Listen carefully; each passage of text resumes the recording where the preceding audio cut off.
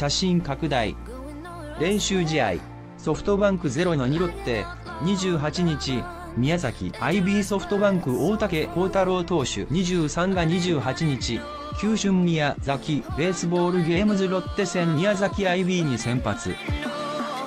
3回2安打無失点の好投で、先発ローテーション入りへ前進した。テンポよく投げられました。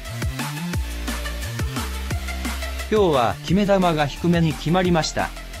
1、2回の安打は西からで3回は三者凡退。平沢を夕ごろ、岡を見逃し三振の後に D1 位藤原兄弟外野手大阪桐蔭校からカーブで空振り三振を奪った。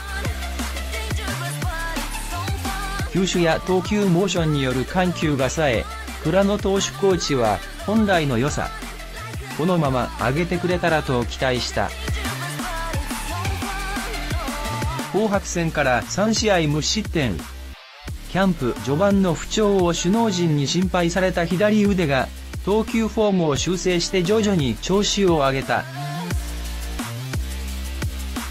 毎試合がアピールの場。ゼロで抑えて内容も伴わせたい。熾烈な先発争い。昨季は夏に支配下登録されて一軍に定着した左腕が、この春もじわじわとライバルに迫ってきた。アンドーリー